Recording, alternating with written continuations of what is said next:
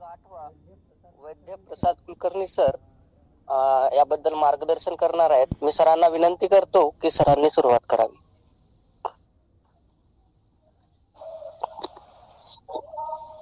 धन्यवाद. गणाधीशो गुणाधीशो विद्यानिधिर्विनायकः.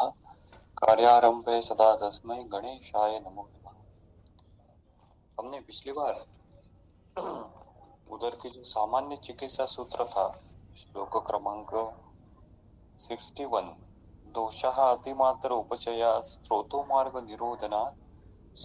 उदरम नित्यमेव विरेचेत ये देखा था कि ये उदर का सामान्य चिकित्सा सूत्र है।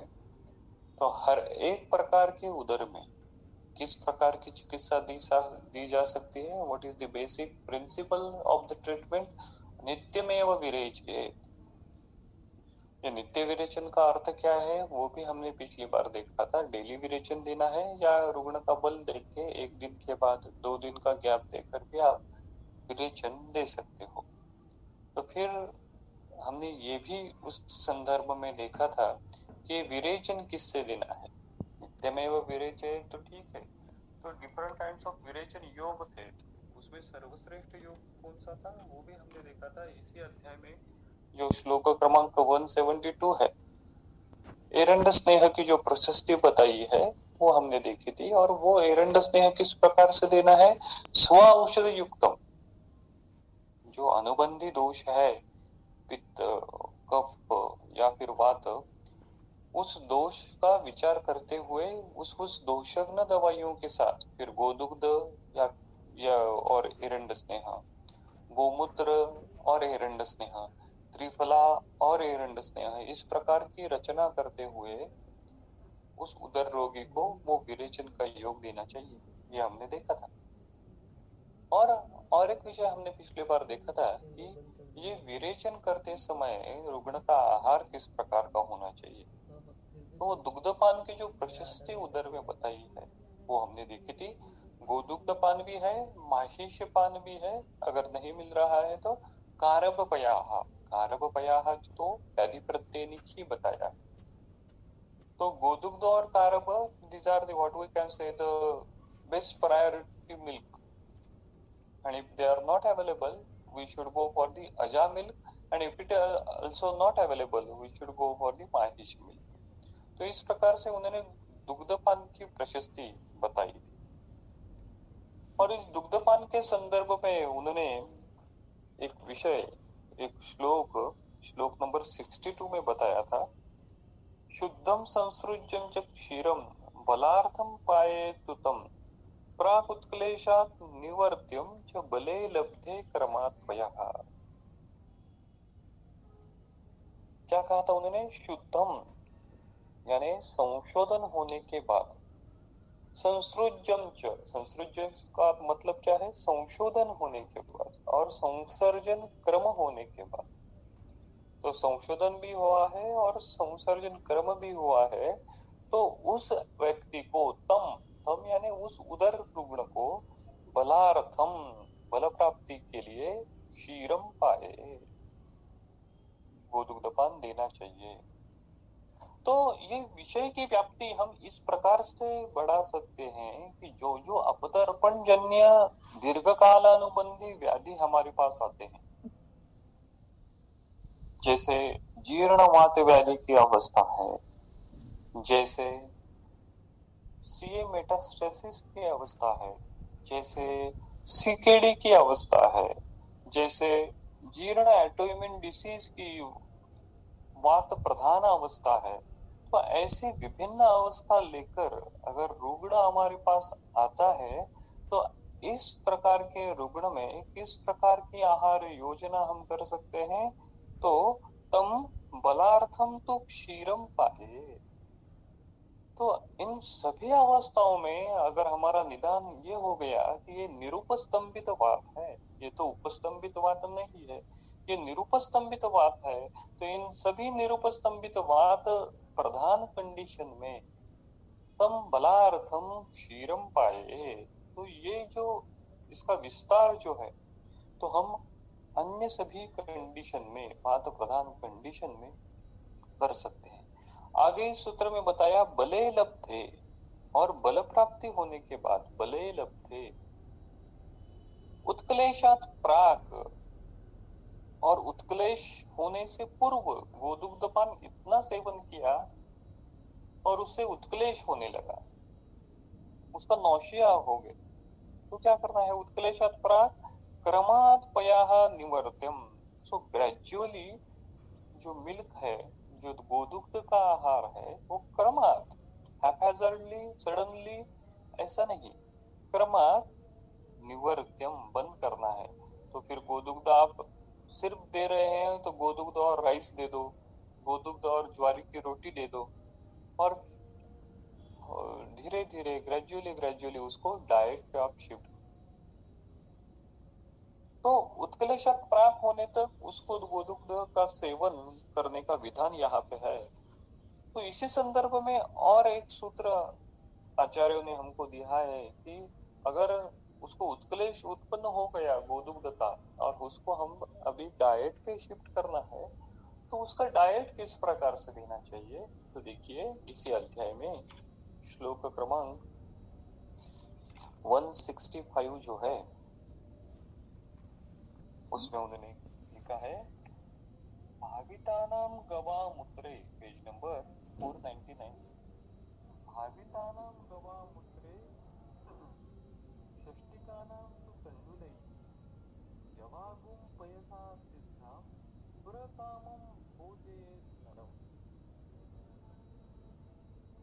गोदुग्ध से दुग्धपान से उत्कलेश अभी उत्पन्न हो गया तो केवल गोदुग्ध तो नहीं दे सकते तो ऐसी अवस्था में रुग्ण को आहार किस प्रकार का दे तो उसका आदेश उसके संदर्भ में सूचना गाइडलाइन ये सूत्र हमको देता है कि भावितानाम गवाम मूत्रे गवाम मूत्रे भावितानाम गोमूत्र से भावित की हुई षष्टिका जो है जो राइस है उस राइस को गोमूत्र की भावना देनी है तो ये भावना किस प्रकार से दे सकते हैं डायरेक्टली गोमूत्र जो राइस जो है जो है वो गोमूत्र से आप कर सकते हो ये एक प्रकार हो गया दूसरा प्रकार क्या हो गया? जो तंडुल है वो रुग्ण को कहे कि आप रात भर गोमूत्र में भिगो के रखो। और सुबह उठने के बाद वो गोमूत्र डिस्कार्ड करो और जो तंडुल बचा है, उस तंडुल का आहार के लिए उपयोग करो। इस तो इस दो प्रकार से आप गवामूत्रे भाविता भावितानाम षष्टिकानाम तंडुल ही ये विधि का आचरण कर सकते हो। तो गवामूत्रे भावितानाम षष्टिकानाम तंडुल ही तो पयसाम सिद्धाम यवागो। तो जो गोमूत्र से भावित ये तंडुल है, उससे सिद्ध, दूध सिद्ध यवागु आप करो। तो यवागु तैयार करनी है पयसा सिद्धम गोदुग्ध मिश्र करते हुए। और नरम प्रकार प्रकामम, वो प्रकामम भोजे प्रकामम शब्द है यहाँ पे। प्रकामम का अर्थ क्या हो गया? तृप्ति होने तक। तो उस रुग्ण की तृप्ति होने तक उसको इस गोमूत्र से भावित जो तंडुल है, उस तंडुल से क्या करना है देखिए, वो तंडुल का ओदन भी उन्होंने नहीं कहा। क्योंकि अभी ये ग्रेजुअली क्रमात निवर्त्य हमको करना है तो इसलिए वो तंडुल और पय सिद्ध यवागु का प्रयोग अभी रुग्ण को शुरू करना है। कई बार ऐसा ही होता है, रुग्ण जब हमारे रुग्णालय में रहता है तो वो गोदुग्ध पे रहता है। गोदुग्ध का सेवन हमारे ऑब्जर्वेशन में करता है, लेकिन वो जब डिस्चार्ज लेके घर चला जाता है तो इस प्रकार का आहार विहार वो फॉलो नहीं कर पाता, या नहीं करता मोस्टली लौल्य के कारण या फिर कहें कि उत्कलेश के कारण, जो हमने सीक्वेंस बताया है वो सीक्वेंस वो फॉलो नहीं करता तो इससे क्या होता है, वो दोष फिर से एक बार बढ़ जाते हैं और फिर से उधर में जल संचिति होने की संभावना रहती है। तो ये ना हो, इसलिए ये जो आहार विधि है, उधर में बताई गई, वो भी उतनी ही इम्पोर्टेंट है जितने अन्य कल्प आए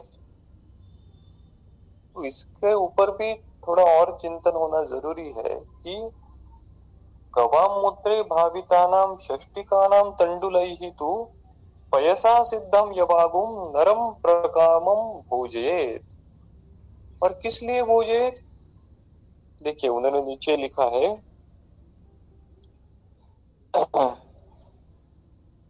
उसके बाद क्या करना है? उसी श्लोक में, श्लोक नंबर 166 67 में विभेद इक्षुरसम चानु जठराणाम निवृत्तये स्वम स्वम स्थानम व्रजंती एवं तथा पित्त कफा नीला ये जो गोमूत्र भावित तंडुल से और पय से सिद्ध की हुई यवागु है, इसका सेवन किस लिए करना है? जठराणाम निवृत्त ये। इस प्रकार से करना है। और ये सेवन करने के बाद, ये जो यवागु है, वो यवागु सेवन करने के बाद क्या करना है? अनु। इक्षुरस पिबेत इक्षुरसम पिबेत अनु यानी क्या पश्चात लैटर ऑन तो पहले आप वो गोमूत्र सिद्ध तंडुल से और पय से सिद्ध की हुई यवागु दो, वो देने के बाद इक्षुरसम पिबेत और ऐसा करने से क्या होता है? तथा एवं पित्त कफा अनिला स्वे स्वे स्थाने प्रजंती ऐसा करने से पित्त कफ अनिल जो है जो त्रिदोष है वो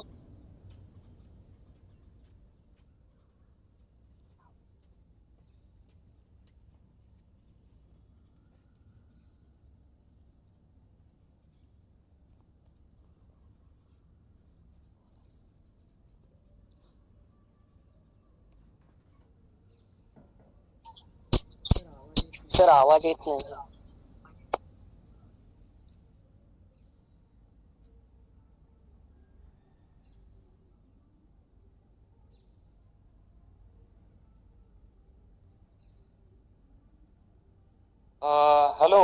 येतोय का हो सर। तो ऐसा करने से क्या होगा कि जो गोमूत्र से सिद्ध की हुई तंडुल और उससे पय से सिद्ध की हुई यवागु और उसके बाद इक्षुरस पीने से तथा एवं ऐसा करने से पित्त का नीला जो त्रिदोष है स्वे स्वे स्थाने व्रजंती वो अपने अपने स्थान में चले जाते हैं। स्थान का मतलब खुद का स्वस्थान तो है ही, और उसका मतलब क्षय स्थानम चुरुद्दीम च दोषायाम त्रिविधा गति स्थान शब्द का दूसरा एक अर्थ निकल सकता है होमियोस्टेसिस। इक्विलिब्रियम स्टेब्लिश हो जाता है दोषों का। स्थान शब्द का अर्थ एक लोकेशन तो है रूढ़ार्थ से। दूसरा अर्थ है इक्विलिब्रियम स्टेब्लिश होना तो इससे इक्विलिब्रियम स्टेब्लिश हो जाता है। दोषों का जो वृद्धि मात्र दोष है, उनका इक्विलिब्रियम स्टेब्लिश हो जाता है इस प्रकार के आहार विधि से। आगे वही आहार विधि के संदर्भ में वो श्लोक क्रमांक 167 में आगे वो कहते हैं तो कि अगर एक कंडीशन है कि रुग्ण को गाढ़ पुरुष उत्पन्न हुआ है हा? तो अगर ऐसी गाढ़ पुरुष अवस्था है तो इस गाढ़ पुरुष अवस्था में रुग्ण को किस प्रकार का आहार देना है? गाढ़ पुरुष यानी क्या? कि हार्ट स्टूल ऐसी अवस्था है। उधर रुग्ण है, आपने विरेचन दे दिया, विरेचन करने के बाद संसर्जन कर्म किया, उस संसर्जन कर्म करने के बाद आपने उस रुग्ण को गोदुग्ध आहार पे दिया।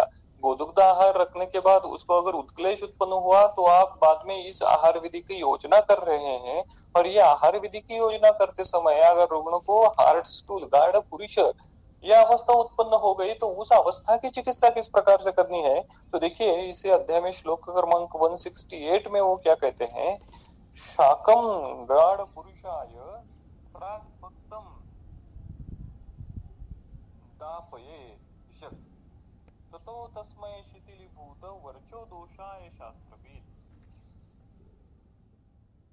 तो गाढ़ पुरुषाय तो अगर हार्ट स्टूल है तो ऐसी अवस्था में प्राक भक्तम प्राग भक्तम यानी क्या? भोजन पूर्व यानी अपान काल तो अपान काल में गाढ़ पुरुषाय तो ये क्या करना है? तो ऐसा अवस्था में दापयत विषक हम्म? तो प्राग भक्तम वो शाक जो है, वो शाक उस अवस्था में, अपान काल काल के अवस्था में प्राग भक्त अवस्था में वो रुग्ण को देने हैं। तो किस प्रकार के शाक है? उसका वर्णन उन्होंने श्लोक नंबर 167 168 में किया है। देखिए, शंकिनी, स्नुक्ति, वृत्ति, दंती चिर बिल्वादि पल्लवही तो इन प्रकार के शांगों का उपयोग प्राग भक्त गाढ़ पुरुष अवस्था में करना है तो आवस्तिक चिकित्सा हो गई आवस्तिक आहार चिकित्सा हो हर बार गाढ़ पुरुष है इसलिए गंधर्व अर्थ की देना यह अप्रोच सही नहीं है। शाक भी दे सकते हो आप तो इस प्रकार की शाक प्राग भक्त अवस्था में रुग्ण को दो। और ऐसा करने से क्या होता है? आगे उन्होंने लिखा, शाकम गाढ़ पुरुषाय प्राक्तम दापयेत विषक ततो तस्मय शिथिलीभूतम वर्चो दोषाय शास्त्र और दद्यात मूत्रयुतम क्षीरम दोष शेष हरम शिवम। तो शास्त्रविद शास्त्रविद यानी क्या? शास्त्र जानने वाला वैद्य। शास्त्रविद तथा तथा यानी आफ्टर दैट शाह का सेवन करने के बाद अस्मयी, अस्मय यानी इस शिथिलीभूत वर्च दोषाय अभी आपने वो गाढ़ पुरुष अवस्था है तो उस गाढ़ पुरुष अवस्था में आपने उन उन शाखों का उपयोग किया। तो उन शाख पराक्रम भक्ता अवस्था में देने से शिथिलभूत वर्ष दोष हो गए। पहले वो गाढ़ पुरुष अवस्था में थे, अब वो शिथिलभूत वर्ष दोष हो गए।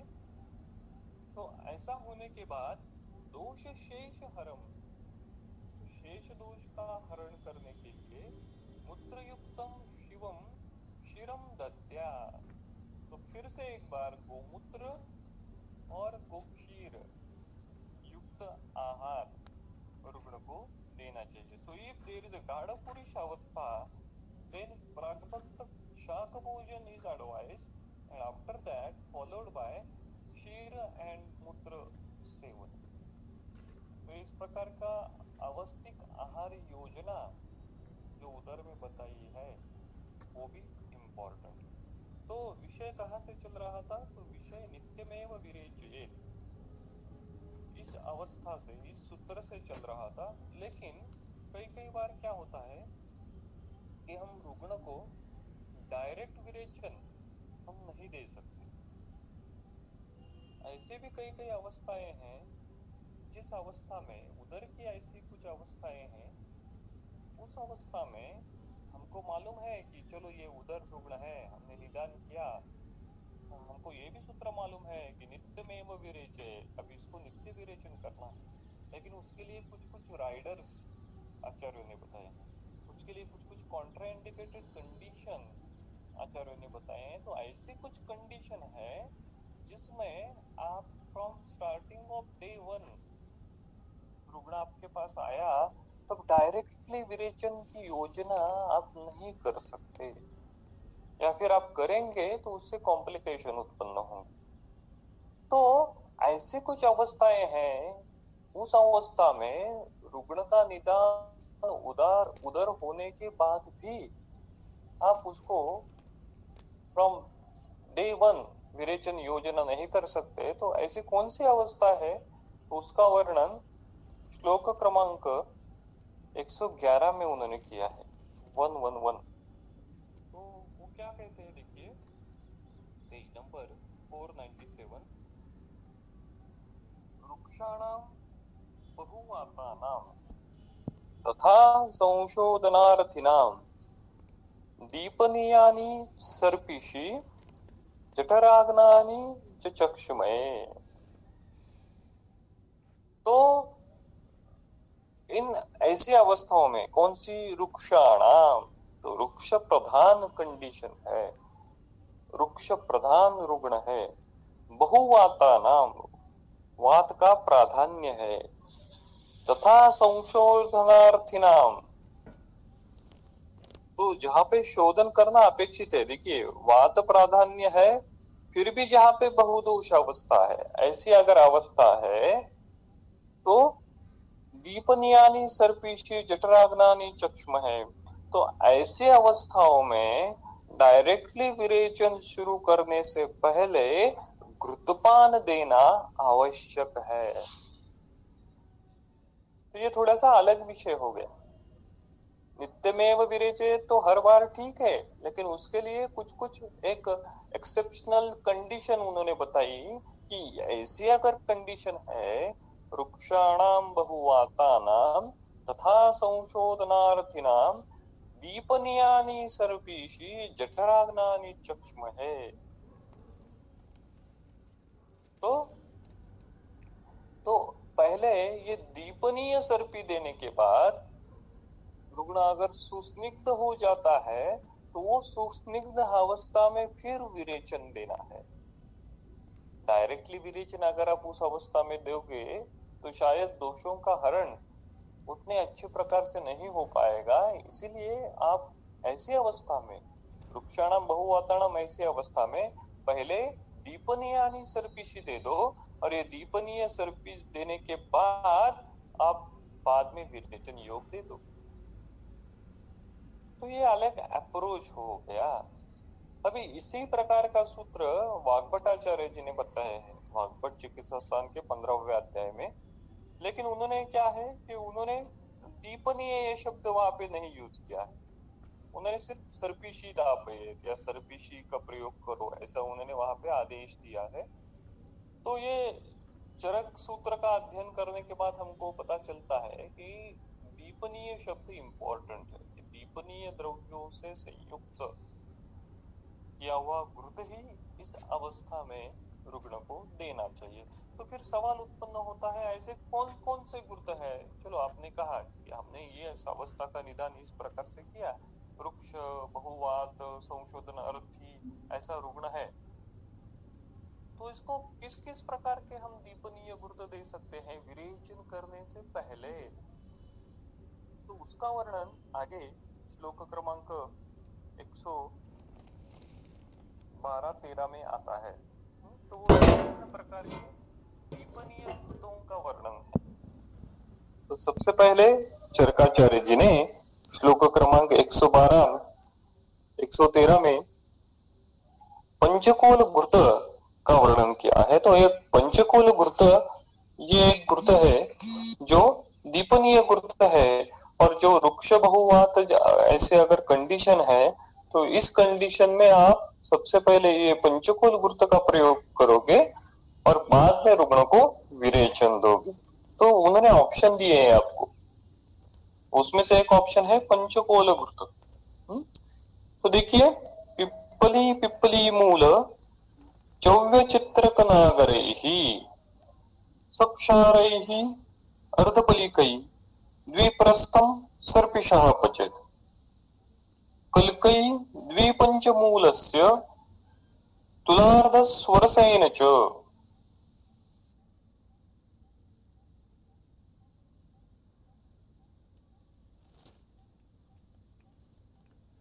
दधिमण्ड आडकोपचितं सर्पिशः द्विप्रस्थं पचेत्। तो उन्होंने देखिए ये पंचकोल वृत्त का वर्णन यहाँ पे किया है। क्या कहा उन्होंने? पिप्पली पिप्पली मूल चव्य चित्रक नागर ही सक्षार ही अर्धपलिक ही कलकई ही तो ये जो पिप्पली पिप्पली मूल चव्य चित्रक और शुंठी ये जो आ, क्या कहते हैं उसको पंचकोल दवाइयाँ है तो ये पंचकोल मेडिसिन सक्षार यवक्षार के साथ कितनी मात्रा में लेनी है? अर्धापल अर्धपलिक ही मात्रा में लेनी है तो ये कल्क दवाइया है। इनका कल्क करना है, कल्क ही।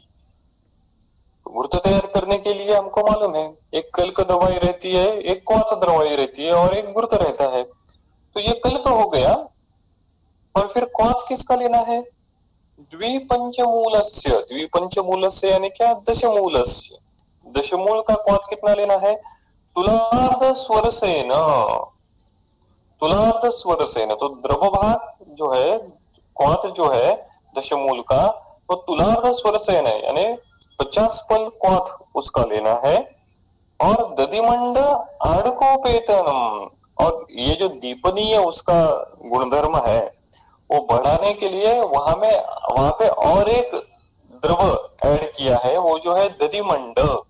वो दधिमंड भी एक आढ़क मात्रा में लेना है और सर्पिशाह प्रस्थम। और उसमें घृत जो है, वो दो प्रस्थ ऐड करके उससे वो घृत सिद्ध करना है। तो ऐसा अगर घृत सिद्ध होता है तो उसको पंचकोल घृत ऐसा कहते हैं।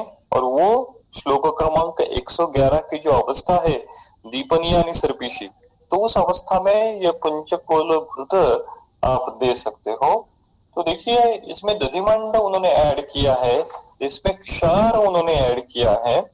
तो ये दीपन तो है ही, उसके साथ साथ ये स्त्रोतो शोधन करने वाला गुर्द है।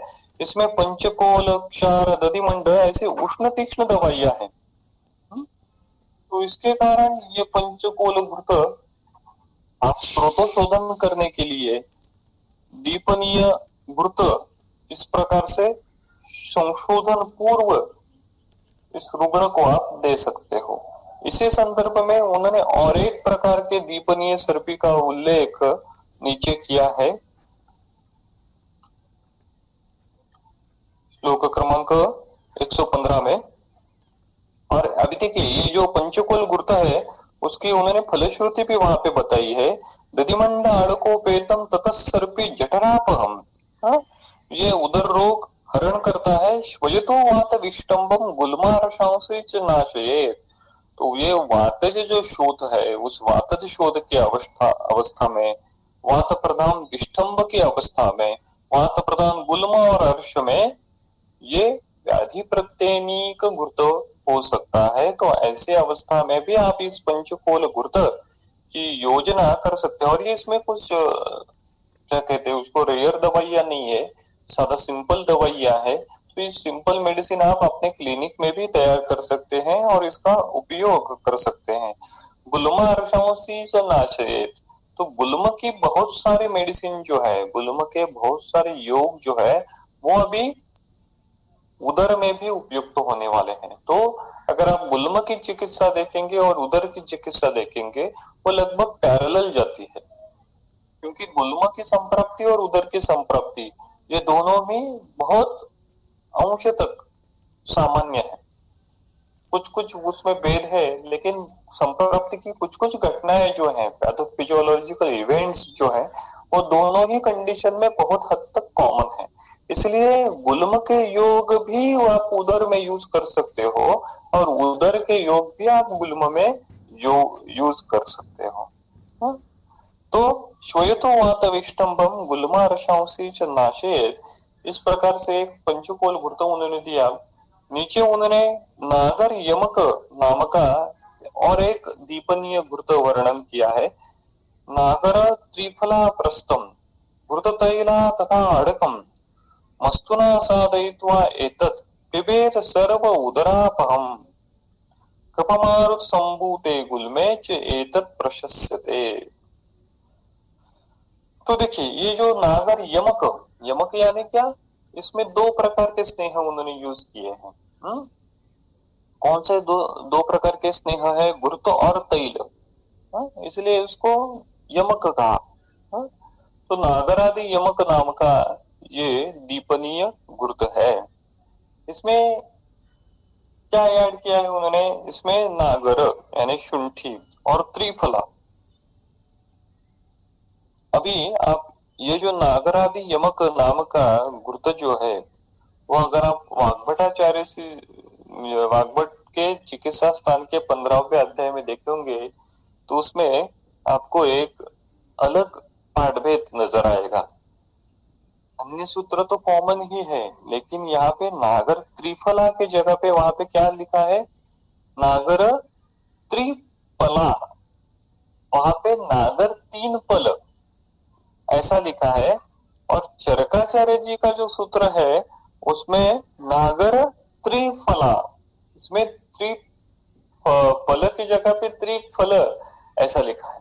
तो ये भी और थोड़ी संशोधन की बात है कि वो पल है या फिर वो फल है? लेकिन मार्गभट जो है, वो नौवे शती का होने के बाद और चरकाचार्य जी को जो अच्छे प्रकार से जान सकता है, वो वाग्भट ही है। चरक को कोई अच्छे प्रकार के समझ पाया, आए, वो वाग्भट है। इसलिए वो अपडेटेड संहिता होने के कारण शायद ये त्रिफल शब्द जो है, वो यहाँ पे त्रिफला इस प्रकार से होना चाहिए।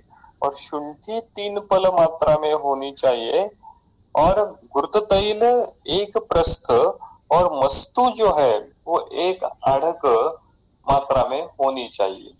तो ये नागरादि यमक नाम का गुर्द है। इस नागरादि यमक में देखिए उन्होंने मस्तु ऐड किया है। मस्तु ये ज़्यादा उष्ण तीक्ष्ण दवाई, वो ज़्यादा स्त्रोतोशोधन करने वाली दवाई है। शुंठी तो हमको मालूम है, वो आरोग्य नाशक विबंध नाशक अग्निमांद्य हर है। लेकिन जो पहले हमने पंचकोल गुर्त देखा था, उसमें उन्होंने दधी मस्तु सॉरी दधी मंड ऐड किया था।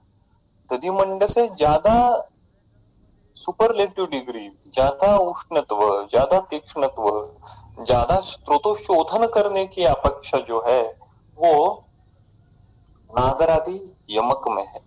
वो वस्तु में है। इसलिए अगर दीपन की ज़्यादा अपेक्षा है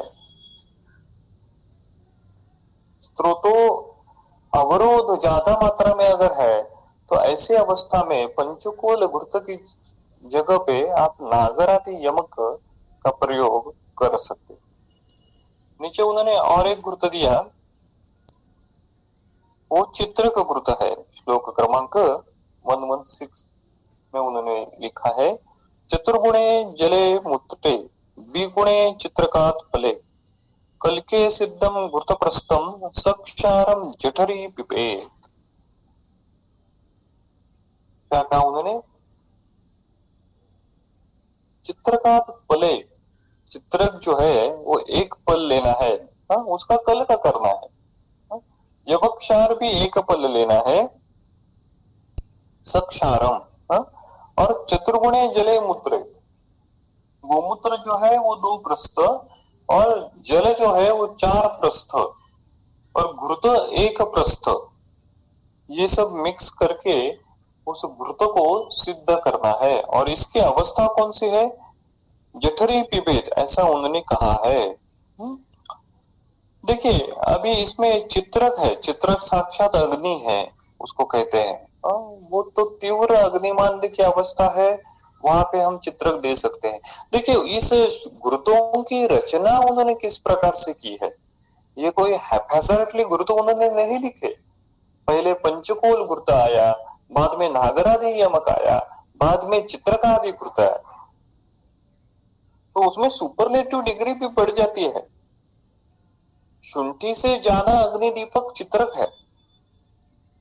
तो अगर ज़्यादा स्त्रोतावरोध नहीं है तो आप शुंठी, जो नागरादि यमक है, उसका उपयोग करो। लेकिन अगर तीव्र स्त्रोतरोध की अवस्था है तो वहाँ पे आपको इस चित्रक घृत का उपयोग करना चाहिए। और इस चित्र गुरुत्व में साक्षात चित्रक के साथ और उन्होंने क्षार और क्षार के साथ साथ गोमूत्र भी ऐड किया है। देखिए तो इसका उष्णत्व, इसका तीक्ष्णत्व इसके स्रोतों शोधन करने की कैपेसिटी इसकी पोटेंसी कितनी बड़ी हो तो आपको अगर स्रोतों शोधन ज़्यादा अपेक्षित है तो चित्र का अधिकृत का उपयोग करो। इतना स्रोतो शोधन अपेक्षित नहीं है तो आप ऊपर दिए हुए पंचकोल कृत या यमक, इन दोनों कृतों में से कोई भी कृत आप प्रयोग में ला सकते हो। आगे उन्होंने नीचे यवाधिकृत यवकोलाधिकृत भी एक गुरुत वर्णित किया है। यवकोल कुलत्थानाम पंचमूल रसेन च सूरासवीरकाभ्याम च सिद्धम वापे पिबेत कृतम तो इसमें क्या है? उन्होंने कहा कि यवकोल कुलत्था नाम इसमें कल को किसका करना है? यवकोल और कुलत्थ का करना कल का करना है। और द्रव द्रव्य जो है वो पंचमूल क्वाथ और इसमें सूरा और सवीर, ये जो आसव कल्पनाएँ हैं, इनको उन्होंने ऐड किया है और इससे वो गुरुत उन्होंने सिद्ध किया है।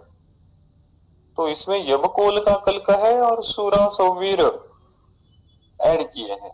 जनरली घृत का नाम जो रहता है तो उसमें से कल्क जो द्रव्य है, उस कल्क द्रव्य से उस घृत का नाम देना, देने का प्रघात है। तो घृतक संकल्पना में क्वाथ से भी ज़्यादा इंपॉर्टेंट कल्क है। हाँ, इसलिए चित्रक गुरुत जब हम कहते हैं तो उसमें कल्क चित्रक का रहता है। यवकोलादि गुरुत हम जब कहते हैं तो उसमें कल्क जो है वो यवकोल का रहता है। हाँ? पंचकोल गुरुत जब हम कहते हैं तो उसमें कल्क पंचकोल का रहता है। तो इस प्रकार से ये तीनों गुरुतों का उन्होंने तीन ही नहीं ये चार गुरुतों का वर्णन उन्होंने किया।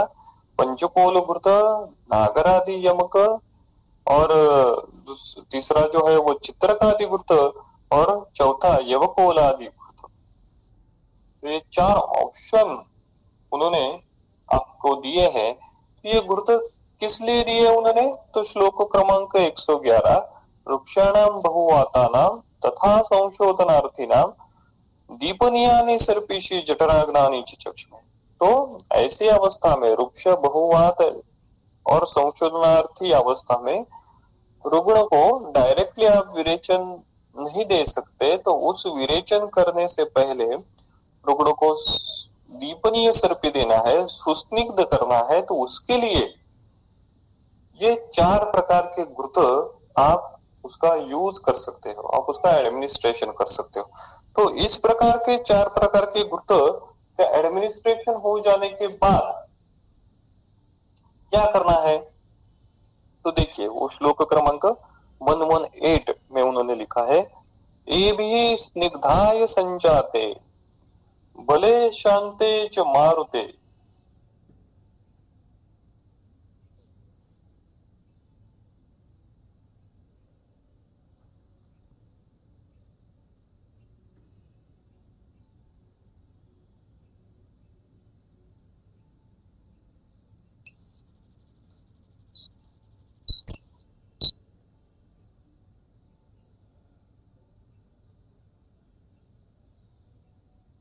भी स्निग्धाय संजाते, बले शांते च मारुते सस्ते दोषाशय दत्यात कल्पम दिष्टम विरेचनम? तो भी, यानी इन प्रकार के चार जो चतुर्विध स्नेह है तो इन चार प्रकार के स्नेहों से स्निग्धाय संजाते तो स्नेहन होने के बाद स्निग्धाय संजाते अच्छे प्रकार से स्नेहन हो गया। और क्या हो गया? बले। संजा स्निग्धाय संजाते बले। बल प्राप्ति हो गई, शांते च मारुते। और जो वात प्रधान अवस्था है, उसमें वात का शमन हो गया। ये भी स्निग्धाय संजाते बले, शांति च मारुते। और क्या अवस्था उत्पन्न हो गई? शस्त्रे दोषाशय शस्त्रे दोषाशय शस्त्रे दोषाशय की टीका देखिए चक्रपाणी जी ने क्या कहा है? शस्त्रे दोषाशय दोषे स्नेहेन विमुक्त बंधनत्वास्त्रस्ते इत्यर्थः। जब आप इस दीपनीय घृतों से स्नेहन करते हो तो उस स्नेहन से क्या हो जाता है? Doshas are now going to be detach from their adherence from this Srotas wall. Those are going to be detached. So, जो स्नेह का मॉलिक्यूल है, वो स्नेह का मॉलिक्यूल क्या करता है कि दोष जो, दोष का जो मॉलिक्यूल है, जो स्त्रोतस के वॉल को अटैच हुआ है, रुक्षता के कारण, क्योंकि वृक्ष प्रधान कंडीशन है ना तो वो स्निग्ध मॉलिक्यूल वो रुक्षता को कम कर देता है, और इसी कारण जो अटैचमेंट है दोषों की दोषों के मॉलिक्यूल की स्त्रोतस के साथ वो भी नष्ट हो जाती है और शस्त्रे दोषाशे विमुक्त बंधन उनका एडेजन ही कम हो गया तो वो दोष फिर चलित हो गए। तो ऐसे चलित दोषों की अवस्था यहाँ पे उत्पन्न हो जाती है। किन कारण? ए भी स्निग्धाय।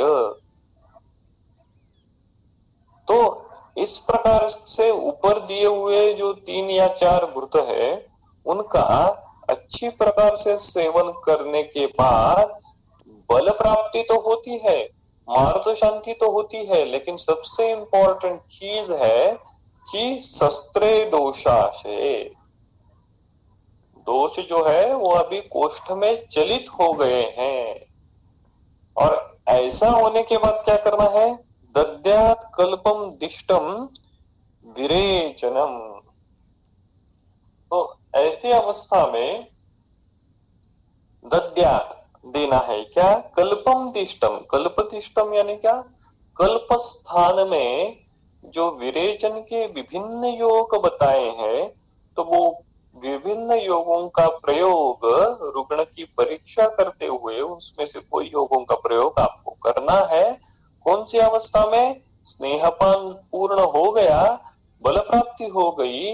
रुग्ण अब भी विरेचन के वेग को सहन कर सकता है, ऐसी अवस्था उत्पन्न हो गई और शस्त्रे दोषा से दोष अभी विमुक्त बंधन इस अवस्था में प्राप्त हो गए। तो ऐसी अवस्था में ही आपको रुग्ण को वो कल्प कल्प दिष्टम विरेचनम कल्प स्थान में जो विरेचन कल्प है उनका सेवन करना चाहिए, उनको रुग्णों को देना चाहिए। तब अभी विरेचन कल्प देना है। हा? शुरुआत कैसे थी? नित्य में वह विरेचन ये सामान्य सूत्र था। यहाँ पे उसको एक्सेप्शन उन्होंने बताया कि वृक्षाणाम बहुवाता नाम तथा संशोधनार्थी नाम दीपनिया सर्पिची चटराग्नानी प्रचक्ष में और उसके बाद फिर कल्पोदिष्टम विरेचनम तो विरेचन इस अवस्था में रुग्ण को देना है।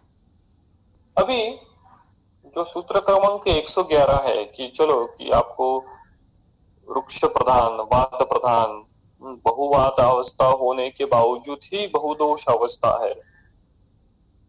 ऐसी कंडीशन होने के बाद आप क्या करोगे कि आप दीपनीय सर्पी दोगे और दीपनीय सर्पी देने के बाद उसको आप विरेचन कल्प दो।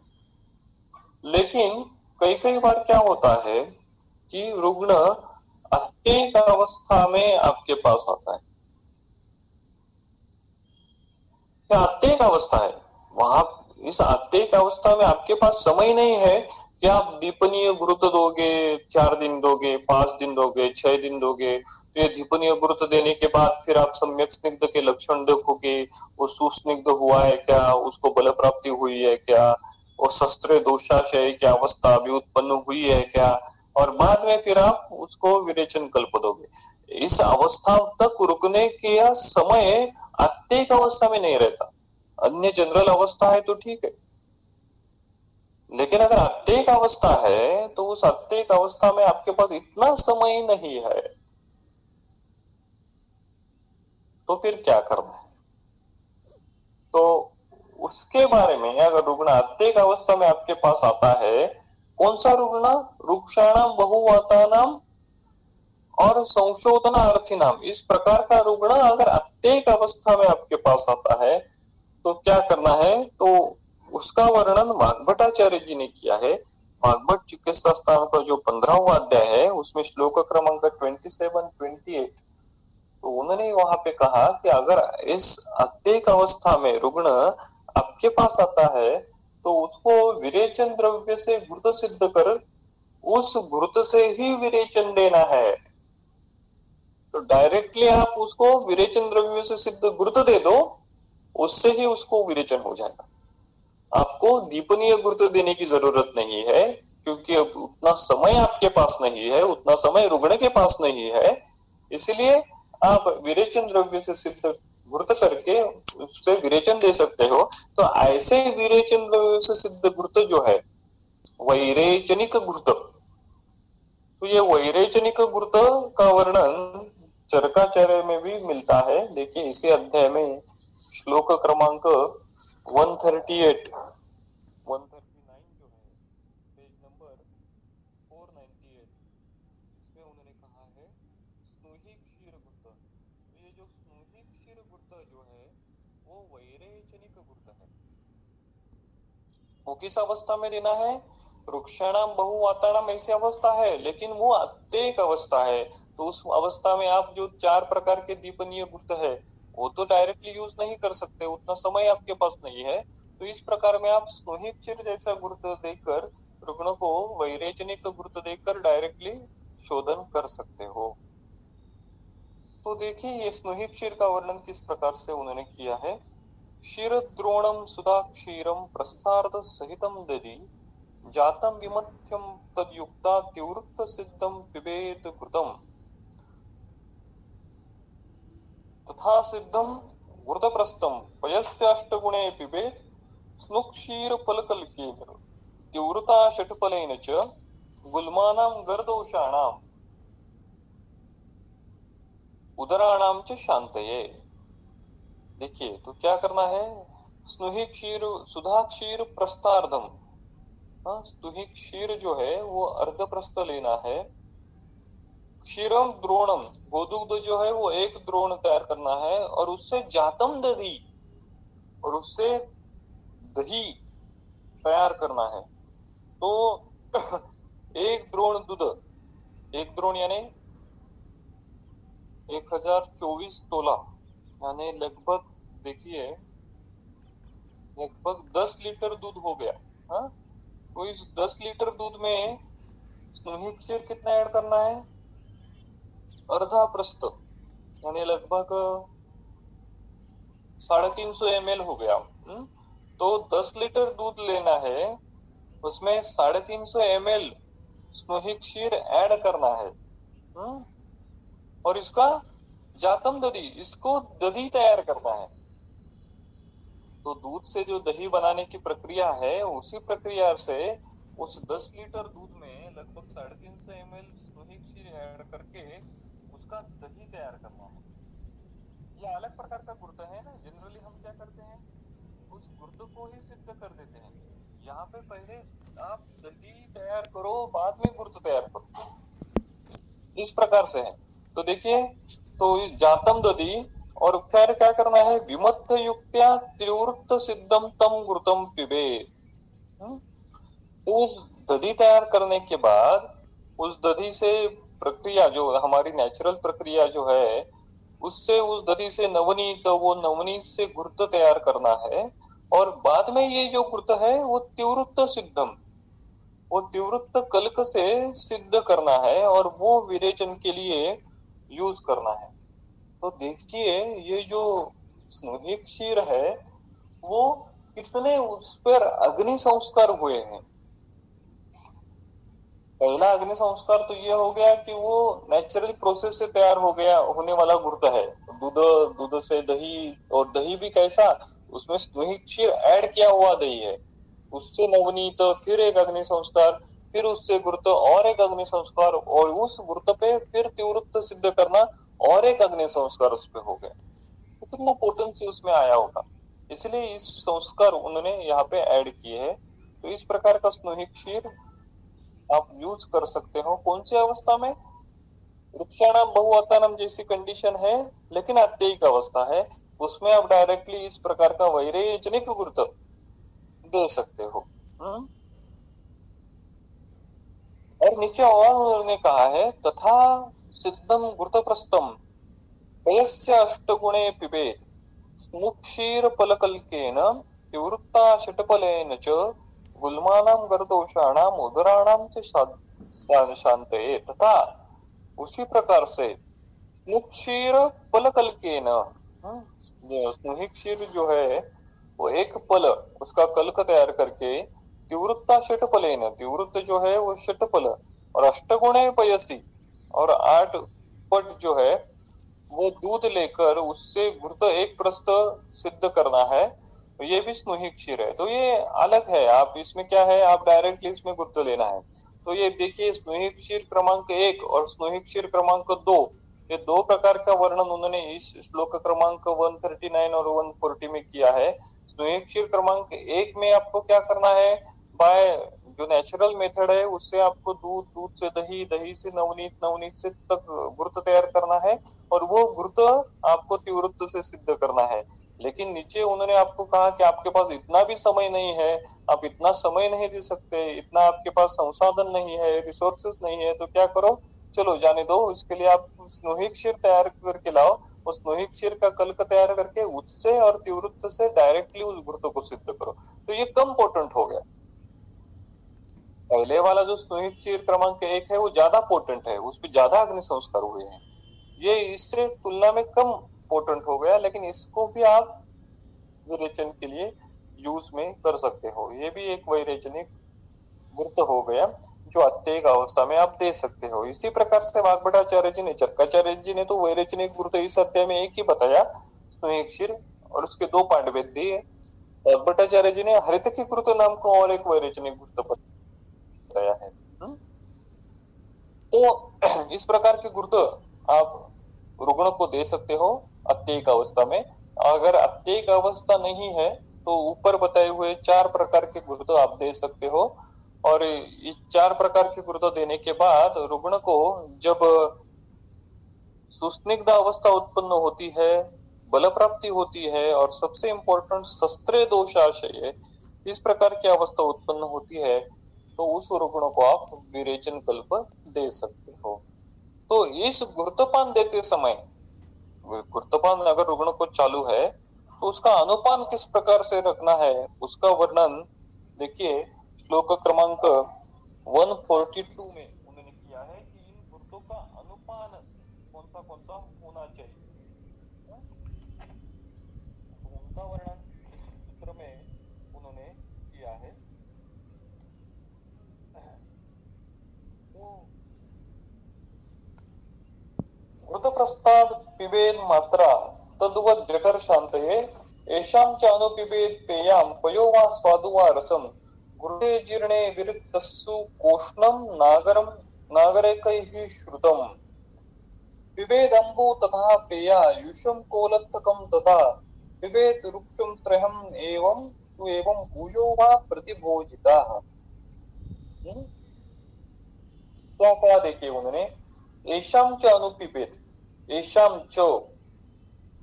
एशाम च यानी क्या? इस प्रकार से वृतपान सेवन करने के बाद, अनु अनु यानी उसके बाद, क्या करना है? पेयम स्वादु व पया हाँ? पेया या फिर स्वादु पया मधुर द्रव्य सिद्ध दुग्ध या फिर रसम व पिबेत या फिर मांसरस का सेवन करना है। तो घृतपान का अनुपान देखिए उन्होंने दिया। घृतपान का अनुपान पेया, या फिर मधुर द्रव्य सिद्ध दुग्ध, या फिर मांस रस। तो फिर सवाल उत्पन्न होना होता है कि क्रिया कब देनी है? मधुर सिद्ध द्रव्य दुग्ध कब देना है? और रसक, मांस रस कब देना है? तो उसका देखिए टीका में उन्होंने वर्णन किया है। पेयादीनाम त्रयाणाम अनुपानत्व कफपित्तवातेषु। यानी जो पेया जो है वो कफ के लिए दूध के लिए पित्त जो है वो दुग्ध के लिए और मांसरस जो है वो वात के लिए वात प्राधान्यत्व के लिए आप उन उन गुरुतों का अनुपान के संदर्भ में आप दे सकते हो। आगे उन्होंने क्या लिखा? घृते जीर्णे। तो आपने घृतपान तो दे दिया। और ये घृतपान जीर्ण होने के बाद हाँ, जीर्ण आहार की जो लक्षण है उद्गार शुद्धि उत्साह एक्सेट्रा एक्सेट्रा वो लक्षण उस रुग्ण में आप मिल रहे हैं। घृते जीर्णे तो क्या करना है? विरिक्त तू। कल्पोदिष्टम विरेचनम। कल्प स्थान में जो वर्णित विरेचन कल्प है, उनका आपने यहाँ पे यूटिलाइजेशन किया। तो उस देने, विरेचन योग देने के बाद रुग्ण को तो विरेचन के वेग आएँगे। तो वो विरेचन होने के बाद क्या करना है? फिर संसर्जन क्रम का उन्होंने स्पेसिफिक संसर्जन क्रम का उन्होंने वर्णन किया है। क्या कहा है उन्होंने? नागरकै श्रुतम उष्णम अंबु पिबेत ही श्रुतम यानी शुंठी सिद्ध जो कोष्णम अंबु है आ? उसका सेवन करना है। तो विरेचन करने के बाद जो संसर्जन क्रम का पहला दिन है, उस संसर्जन क्रम के पहले दिन शुंठी सिद्ध कोष्ण जल ही रुग्ण को देना है। और एक घंटे सिद्ध जल किस प्रकार से करना है? वो षडंग पानीय जो है, वो ज़ोर चिकित्सा में बताया हुआ तो उस प्रकार से आप उसको सिद्ध तैयार कर सकते हो। बाद में उन्होंने क्या किया? तथा पेयाम, उसके बाद पेयाम। कौलत्तम युषम पिबेत। तो पहले दिन आपको शुंठी सिद्ध जल ही रुग्ण को देना है तथा पेयाम दूसरे दिन पेया देनी है। देखिए, टीका में उन्होंने लिखा है, द्वितीय दिवसे पेया युषम कौलित कम तथि तृतीय दिवसे। और तीसरे दिन संसर्जन कर्म का जो तीसरा दिन है, उस तीसरे दिन कुलत युष रुग्ण को देना है। जनरली संसर्जन कर्म जब हम संशोधन के बाद देते हैं तो उसमें मुदगयुष, या फिर यवागु या फिर असंस्कृत मांसरस, सुसंस्कृत मांसरस, इस प्रकार से हम योजना करते हैं। यहाँ पे उस संसर्जन क्रम जो ट्रेडिशनल है, उससे अलग प्रकार का विचार दिया है। ये एक स्पेसिफिक संसर्जन क्रम उन्होंने बताया है, जो केवल उदर रुग्ण में एप्लीकेबल है, कि जब आप उदर रुग्ण में जो रुक्षाणाम बहुवाताणाम ऐसी अवस्था है, उसमें स्निग्ध रुग्ण होने के बाद जब आप विरेचन कल्प दोगे तो ये विरेचन देने के बाद रुग्ण को किस किस प्रकार का संसर्जन क्रम करना है? पहले दिन शुंठी सिद्ध जल पे रुग्ण को रखना है, दूसरे दिन रुग्ण को पेया देनी है तीसरे दिन कौलत्तम युषम कुलत्त युष रुग्ण को देना है प्रतिभोजिता हाँ? और और आगे उन्होंने कहा, एवं वृक्ष इससे वृक्षता उत्पन्न होने के बाद, यानी क्या? कि जो सुस्निग्ध अवस्था है, उसके बाद हमने विरेचन किया घुर्त से ही, और इसके बाद ये जो संसर्जन क्रम है, इससे वृक्षता उत्पन्न होने के कारण एवं वृक्ष तो प्रतिभोजिता।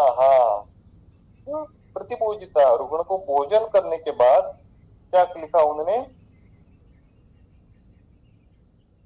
त्रहम त्रहम अप टू थ्री डेज़ भूयो वा? और अधिक दिन तक पिबेत। तो रुग्ण को सेवन करना है अप टू थ्री डेज़ या फिर अधिक दिन तक रुग्ण को सेवन करना है? यानी क्या? कि रुग्ण को बल प्राप्ति संसर्जन क्रम के बाद तीन दिन के बाद हो गई। रुग्ण ने प्रतिभोजन कर लिया, भोजन कर लिया। तो तीन दिन संसर्जन क्रम करने के बाद अगेन रुग्ण को विरेचन कर्म करना है, भूयोवाद पे। तो ये सिक्वेंस है। कि पहले आपने वृक्ष प्रधान कंडीशन है तो आपने पहले क्या किया उसको? गुरुतपान दिया। तो गुरुतपान के बाद विरेचन दिया। विरेचन के बाद तीन दिन आपने संसर्जन क्रम किया। उसके बाद अपने रुग्ण को भोजन दिया और उसके बाद फिर से वो विरेचन कल्प दिया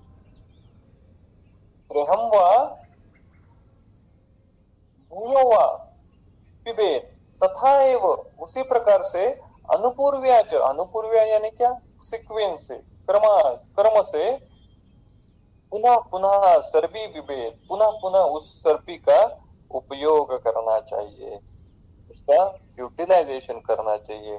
तो देखिए तो ये जो विषय जो है, ये जो वृक्ष प्रधान कंडीशन जो है तो इस वृक्ष प्रधान कंडीशन में ये संसर्जन, विरेचन के बाद संसर्जन क्रम भी स्पेसिफिक है। तीन दिन का, उसके बाद रुग्ण को लघु आहार भी देना है और लघु आहार सेवन करने के बाद फिर से एक बार विरेचन कल्प देना है। फिर से तीन दिन का संसर्जन क्रम, फिर से प्रतिभोजन फिर से एक बार विरेचन कल्प तो ये साइकिल रिपीट करनी जानी है। रुग्ण का दोष बल कितना है, ये देखते हुए। तो इस प्रकार की गुरुत्वपान की जो विरेचन स्नेह है, उसकी फलश्रुति श्लोक क्रमांक 144 और 145 में उन्होंने बताई है।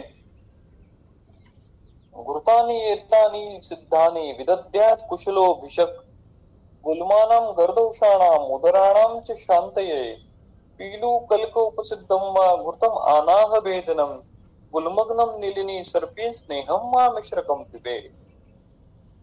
तो गुरुतानी एतानी सिद्धानी। तो इस प्रकार से गुरुत जो आप सिद्ध करके देते हो, कुशलो भिषक कुशल भिषक देता है तो गुलमानम गर्दोषाणाम उदराणाम जो शांत है। वो गुलम, गर्दोष और उदर की शांति करता है। और उसी प्रकार के अन्य कौन से कौन से स्नेह विरेचनिक कल्प है, वो भी वो चरकाचार्य जी ने बताया।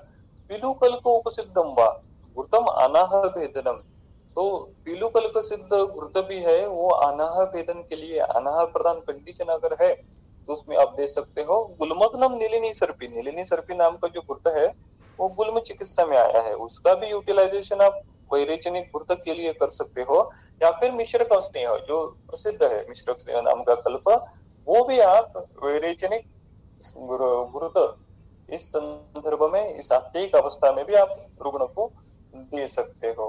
तो इसी प्रकार से इन्होंने वैरेचनिक घृतों का वर्णन यहाँ पे किया है। तो देखिए अब तक हमने क्या देखा कि प्रधान उपक्रम कौन सा है? नित्य विरेचन। ये प्रधान विरेचन का प्रधान द्रव्य कौन सा हो गया?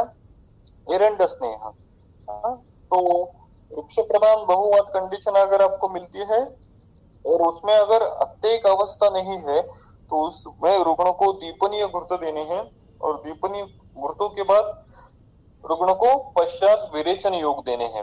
लेकिन अत्येक अवस्था अगर उत्पन्न होती है तो डायरेक्टली रुग्ण को वैरेचनिक गुरुत्व देने हैं और उस वैरेचनिक गुरुत्व देने के बाद रुग्ण को स्पेसिफिक तीन दिन का संसर्जन क्रम बताया है। पहले दिन शुंठी सिद्ध जल, दूसरे दिन जो है वो पेया और तीसरे दिन जो है वो कुलत युष का सेवन करने को कहा है फिर से एक बार रुग्ण को विरेचन कल्प फिर से एक बार रुग्ण को तीन दिन का संसर्जन क्रम ऐसी साइकिल जो है वो रिपीट करते जानी है। तो इस प्रकार से यहाँ तक वृत्त का और वैरेचनिक वृत्त का वर्णन तो उदर के संदर्भ में आता है वो हमने देखा है। इसके आगे का जो विषय है वो हम अगली बार देखेंगे। अभी यहाँ पे रुकते हैं। Thank you sir thank you sir thank you sir thank you sir sir के और ज्वाइन हुए सारे वैद्यों को धन्यवाद